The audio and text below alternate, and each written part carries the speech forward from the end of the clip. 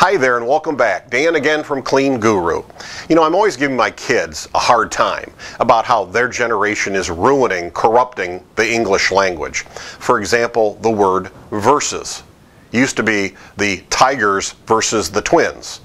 Uh, then in recent years, they turned it into the Tigers verse the Twins. I couldn't believe it, verse.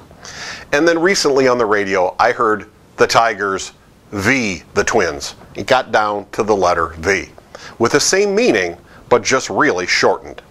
Well, you know, I used to make fun of this, but on the other hand, it's okay. I think as entrepreneurs, by definition, we have to stay open to change. And I think that's part of it because that's a lot of times where the opportunity is.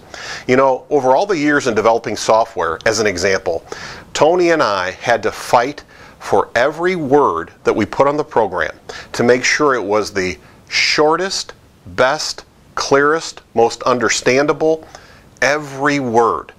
And the net effect of, of putting that kind of scrutiny on every page of the program ended up that the whole program, it got to be the kind of uh, use and navigation that we were looking for. Very easy to use, understandable, clear, but it came for fighting for every bit of clarity and focus that we could. What's the point?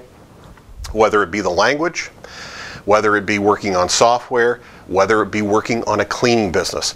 If you fight for every advantage to make your company bigger, faster, stronger, and you add up all the little ways you can do it, just like with Tony and I, you'll look back in a couple years and go, look how all those changes added up to a big difference compared to your competition.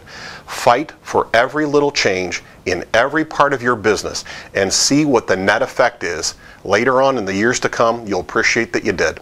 Hope that helps. Until next time, remember that you can do this. You really can.